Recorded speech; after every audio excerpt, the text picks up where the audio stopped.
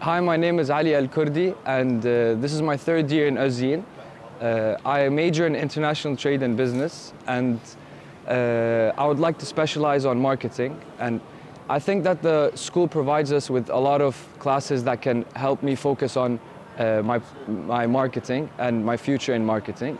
Uh, when it comes to the school's atmosphere and uh, the environment, I think the people in school are really friendly and I think that uh, I can really uh, develop myself as a person in Özyeğin.